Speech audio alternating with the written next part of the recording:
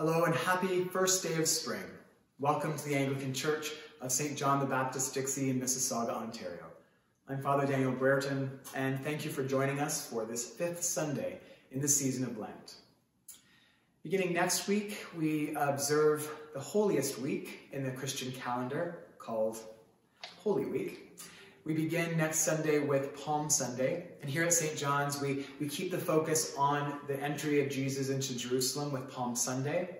Uh, and then we'll follow that with uh, a Wednesday evening service, our last Lenten Vesper service, which will incorporate um, elements of the Tenebrae ritual. Then Maundy, Thursday, with the commemoration of the Last Supper, a Holy Eucharist, and the stripping of the altar followed by Good Friday's commemoration of the crucifixion, and then Easter Sunday morning when we'll begin in the darkness of the Easter Vigil and have the lighting of the new Paschal candle followed by the triumphant uh, celebration of Christ's resurrection. I hope that you'll join us for as many of those services as you can, and please know that you're welcome at all. And thank you for joining us for today's worship. Oh, come, let us worship.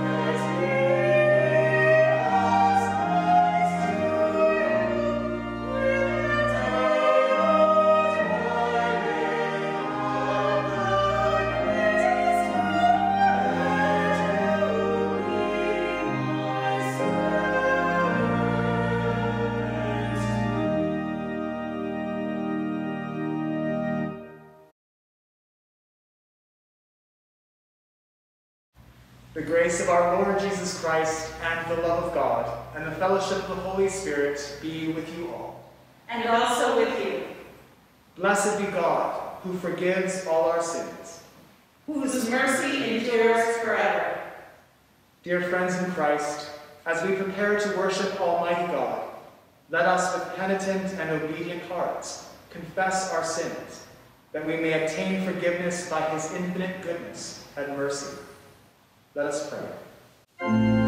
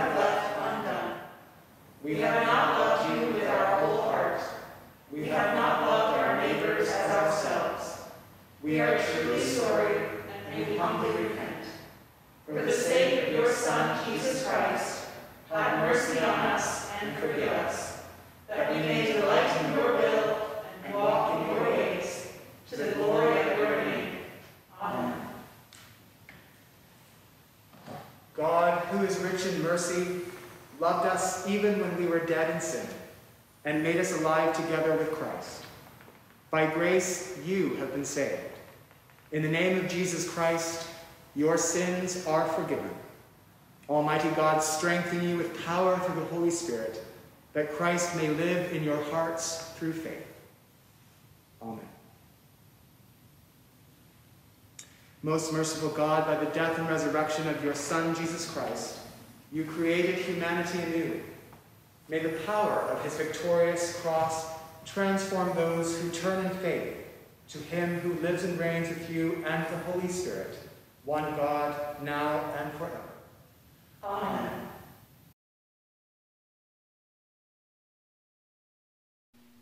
A reading from the book of Jeremiah. The days are surely coming, says the Lord, when I will make a new covenant with the house of Israel and the house of Judah.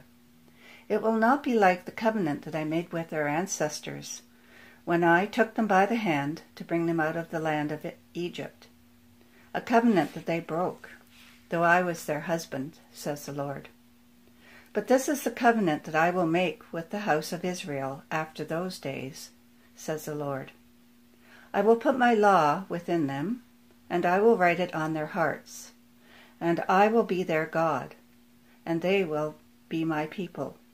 No longer shall they teach one another, or say to each other, Know the Lord, for they shall all know me. From the least of them to the greatest, says the Lord, for I will forgive their iniquity, and remember their sin no more. The word of the Lord.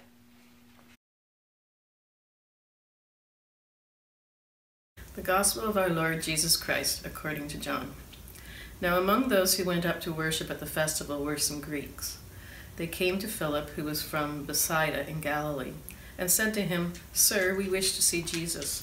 Philip went and told Andrew. Then Andrew and Philip went and told Jesus. Jesus answered them, The hour has come for the Son of Man to be glorified.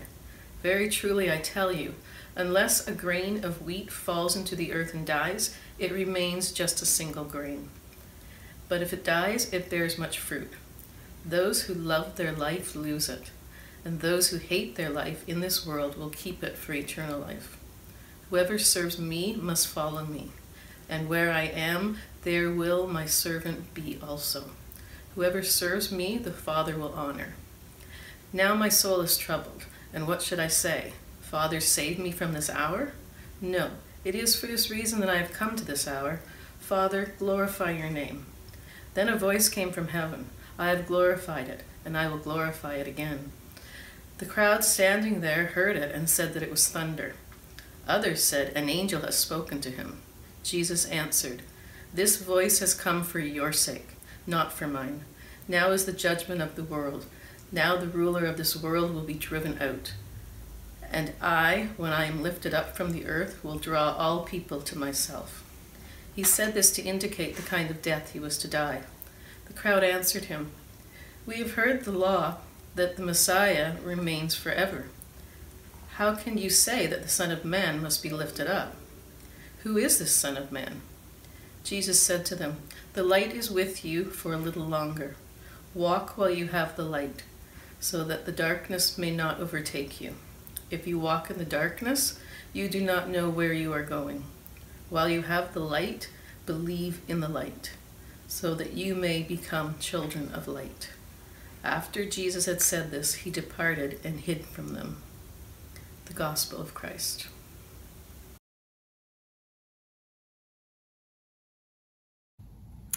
I speak to you in the name of God, who is eternal love, incarnate word, and abiding spirit. Amen. Sir, we wish to see Jesus. Now, isn't that what every church wants? Newcomers. And the disciples don't even need to go knocking on doors or drop off leaflets in order to get them. These Greeks, not likely Gentiles, but probably Hellenistic Jews living in the diaspora, have returned to Jerusalem for Passover, and of their own accord, they're seeking Jesus. And as far as we know, they never do get to meet Jesus.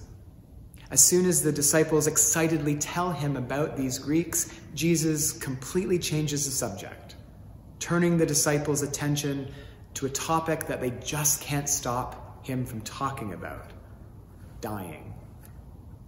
Unless a grain of wheat falls into the earth and dies, Jesus says, it remains just a single grain. But if it dies, it bears much fruit. The disciples' frustration with Jesus constantly talking about his own death probably begins to turn to a deep sense of discomfort as they realize he's not just talking about his own death now, he's talking about ours. Following this Jesus just gets harder and harder. Of course, once seeds are actually planted, they don't cease to exist, which is how a lot of us think of death. Rather, they are transformed into something more. Perhaps through the use of this metaphor, Jesus is not just telling his disciples about the need to die, but actually explaining what he means by death. That the death that he is calling us to share in is not an end to physical life. It's not about ceasing to exist in this world, but to be transformed in it, to be made into something new something greater. After seeds are buried in the earth, they do need to stop being merely seeds. They stop just being what they've always been as they undergo a process of growth and transformation. And from the seed's perspective, that process isn't necessarily a pleasant one. They're split open so that they can put down roots deep into the earth and push shoots up above the earth to bear fruit or grain, to be of far greater benefit as a full grown plant than they could ever be as a single seed. But a seed also can't do this all on its own. A seed doesn't decide that it's just going to uh, begin a process of self improvement. To transform, a seed needs to submit to forces beyond itself, to light, to water, to, to the darkness of its own tiny tomb in the earth. And yes, maybe even to a little manure for fertilization. Jesus is telling us that, like the seed, we also need to stop clinging to the way we've always been in order to be transformed into what we were created to be. We need to stop resisting the change, the death to the old way, so that we can embrace a new and different way. Those who love their life lose it, Jesus says. And those who hate their life in this world will keep it for eternal life. Those who hate their life in this world will keep it for eternal life. Just as last week, we looked at John 3:16, those famous words of Jesus, for God so loved the world. And we talked about how some Christians have taken those well known words and twisted it into a different meaning than what Jesus actually meant. And I think we need to be similarly careful with these words of Jesus too. Because this call to hate life can too easily be heard and preached as a justification for demonizing and destroying or despairing of other people's lives. So, what exactly is Jesus talking about? Three times in this verse, Jesus uses the word life. Those who love their life will lose it, and those who hate their life in this world will keep it for eternal life. And in the original Greek in which this gospel is written, Jesus uses two different words for life the first two times that Jesus speaks of loving and losing life, he uses the word psyche, which has been translated as mind or soul, but I think we could better understand as ego, that self protective, self defensive identity. The third time that Jesus speaks of eternal life, Jesus uses the word Zoe, which doesn't mean place, but it actually means a, a way of living, a manner of life. So when Jesus speaks of eternal life, he doesn't just mean heaven as a place that we go to after we physically die. He's talking about a way of living that we can start now once we are reborn or born again, as he spoke to Nicodemus last week. The word hate that Jesus uses here is best understood as reject or don't cling to. So, what Jesus is really saying is not, I want you to have really negative feelings about life in this world and just focus instead on going to heaven after you die, which is often how I've heard this passage understood. Instead, he's saying he wants us to stop clinging to the world's way of living, a life based on building up and protecting the ego at the expense of other lives. Reject the way of life that the world wants you to live, and instead start living the way that I have been showing you, a way that I've been demonstrating with my own life. Jesus' message here isn't a warning to despise the world and everyone in it, especially those who aren't like us. After all, God so loved the world. Rather, Jesus' words about not loving our life, but rejecting it, not clinging to it, it's an invitation to begin living in this world in a new way, a way not based on defending and building up the self centered and self protective ego that the world has said is your life, but instead to cultivate a way of living based on the way and the truth and the life of God that has been shown to us in Jesus. But of course, to start a new life, you have to be willing to let go of the old. To be resurrected, you have to die. And every follower of Jesus is tempted, as Jesus himself was tempted in the Garden of Gethsemane, to find a way around the cross. You know, if this cup can pass from me, Father, but there is no way around the cross. One can only go through it. What we often want is, is a little bit of self-improvement, right? We, we want to pray and we want to, to cultivate a relationship with Jesus because maybe Jesus can help us redecorate a little. But what Jesus is offering is a complete renovation. And as anyone who's ever renovated knows, that's always a lengthier and more costly process and project than you sometimes felt you were signing up for. For some, the death that Jesus calls us to, the death to self, may come as suddenly and as painfully as nails through hands and feet, like an addict turning away finally from the addiction that has been destroying them, or someone who decides finally to leave an abusive marriage or an abusive relationship or situation and start all over again. For most of us, though, I suspect the death that Jesus calls us to will be more like a crucifixion by a thousand pinpricks, a daily choosing of obedience to the Spirit's call over the ego's demands of gratification. It won't be one dramatic thing. It'll be a whole lot of mundane, everyday things where we have to choose the voice of God over the voice of the ego where we have to follow the way of Jesus instead of the way we want to go.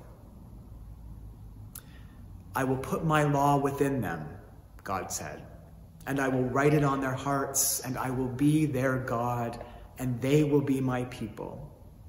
No longer shall they teach one another or say to one another, Know the Lord, for they will all know me. We read in the first passage today from Jeremiah. That's what the Lord wants for us, for us to know Him, for us to have a relationship with Him, a relationship rooted in the trust that God will provide, in the mercy that God will forgive, in the compassionate love that God will remain faithful to us.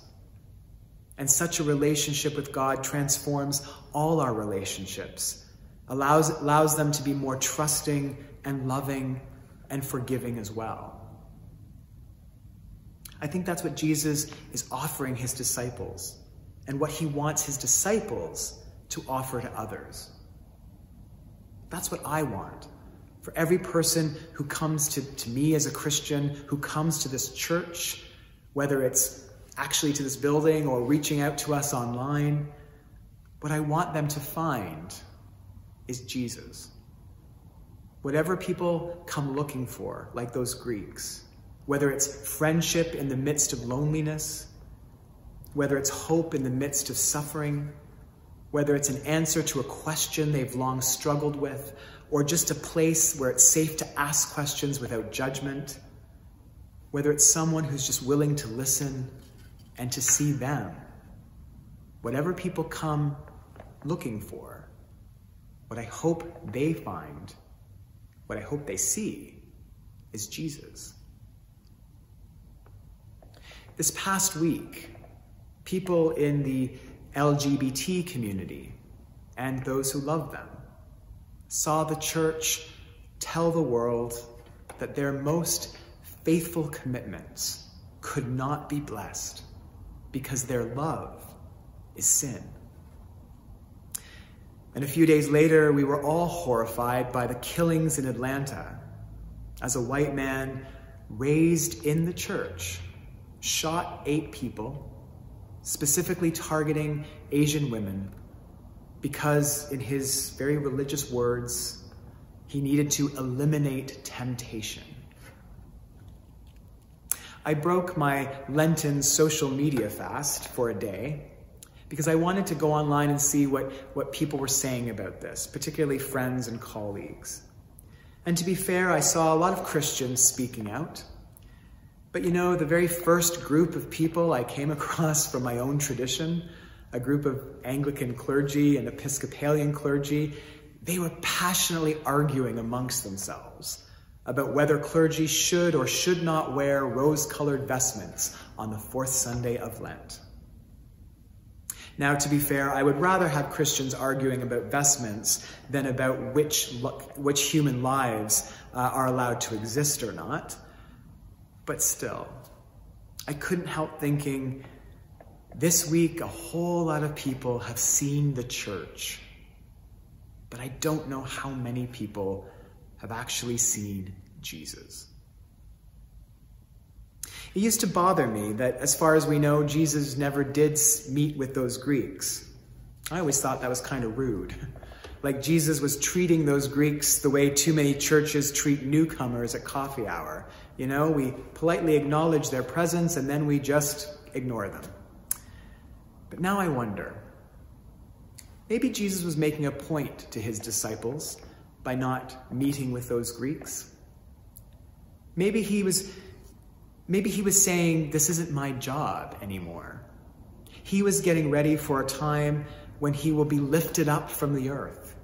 Not just on the cross, but also lifted up from the tomb in the resurrection and then lifted up finally from the world itself in the ascension. And after that, Jesus knows no one will be able to see him unless unless those who follow him, those who claim to know him, are able to show people, to show people the way of Jesus because they walk that way themselves, are able to tell people the truth of Jesus because they believe it in their hearts, are able to show people the life of Jesus because they demonstrate it in their own lives. The Greeks wanted to see Jesus, and they knew exactly how to find him. They went to his followers. My friends, my fellow Christians, the world still wants to see Jesus not our property, not our political power, not our piety, not our programs, not our parish lists. They wish to see our Lord Jesus. When we speak, may it be Jesus they hear. When we act, may it, see, may it be Jesus they see. And when they come to us, asking and searching, may it be Jesus they find. Amen.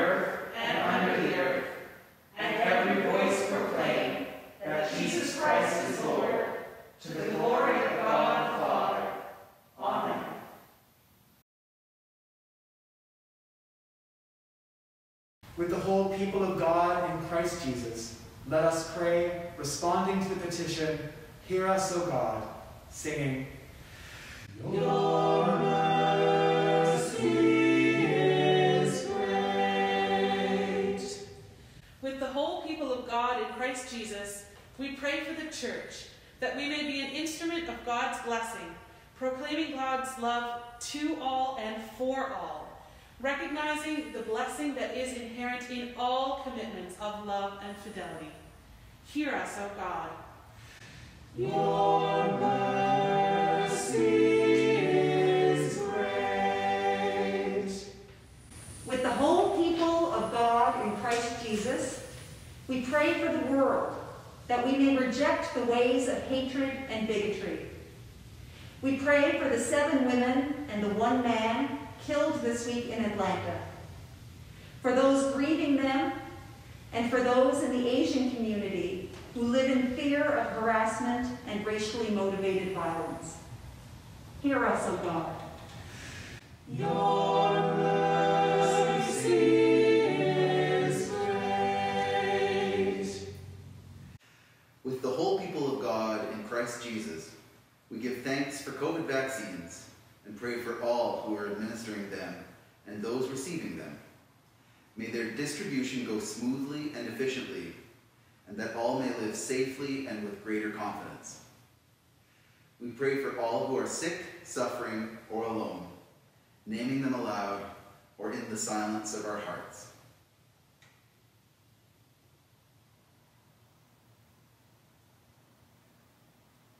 Hear us, O God. Your mercy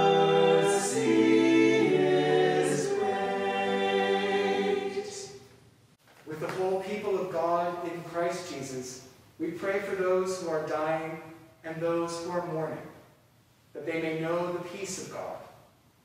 We give thanks for the lives of those now resting in peace, remembering Harold Brister, Diane Regan, and Dorothy Winifred Brown. Rest eternal grant unto them. And let light perpetual shine upon them. Hear us, O God. Your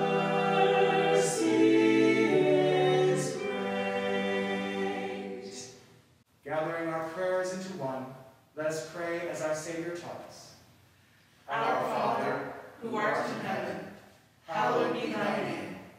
Thy kingdom come, thy will be done, on earth as it is in heaven. Give us this day our daily bread, and forgive us our trespasses, as we forgive those who trespass against us. And lead us not into temptation, but deliver us from evil. For thine is the kingdom, the power, and the glory, forever and ever. Amen.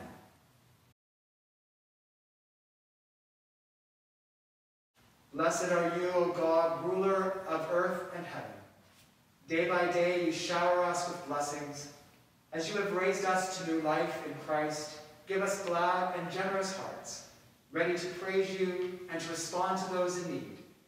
We ask this in the name of Jesus Christ, singing,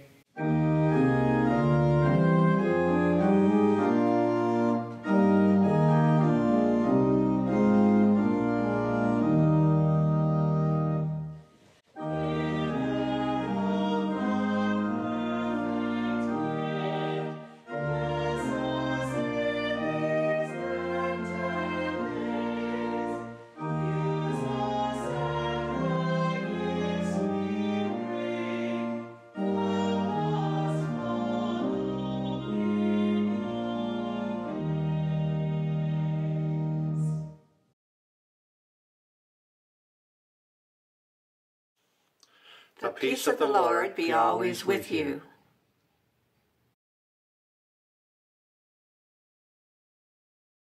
The Lord who gave his life for the life of the world, help you also to die to old ways, that you might follow him who is the way, the truth, and the life. And the blessing of God Almighty, Father, Son, and Holy Spirit, be upon you and those you love and serve, this day and always. Amen.